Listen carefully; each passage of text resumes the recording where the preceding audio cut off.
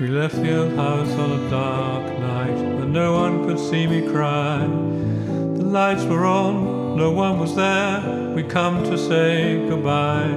It had been a place of so much joy, where I'd lived my life as man and boy. I sometimes dream that I'm still there. There's something wrong, as I'm aware.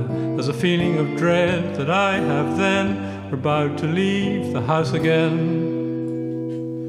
The house stood on its gentle rise, bright white on a summer's day. Reddish roof, green painted wood, a moat round part of the way. Inside the walls of horsehair plaster, a bench in the hall for the house's master. Ancient beams with carpenter's marks, upstairs passage, always dark. Six hundred years the house survived, her farming families lived and died. There were ponies in the field by the house, Taffy, Brownie, and Mouse. A dog called Tim, and many cats. In the roof, two types of bats. A difficult goat called Margarine, and the best climbing cat there's ever been. At my bedroom window, a scuffling sound. The cat came in, and in one bound, he joined me in bed with a mighty leap, purred a bit, and went to sleep.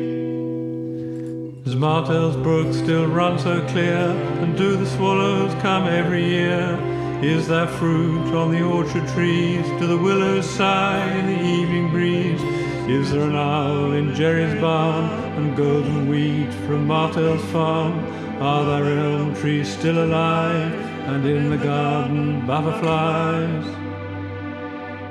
I can remember all the sounds there. I can hear them as I sing now. Swallows twitter in the eaves, the summer buzz of bees. Open fires that hissed and crackled, geese and turkeys honked and cackled. My sister's voice as she called her horse, the evening rookery's chorus of calls. My mother made a ringing sound as she drove the goat's peg in the ground.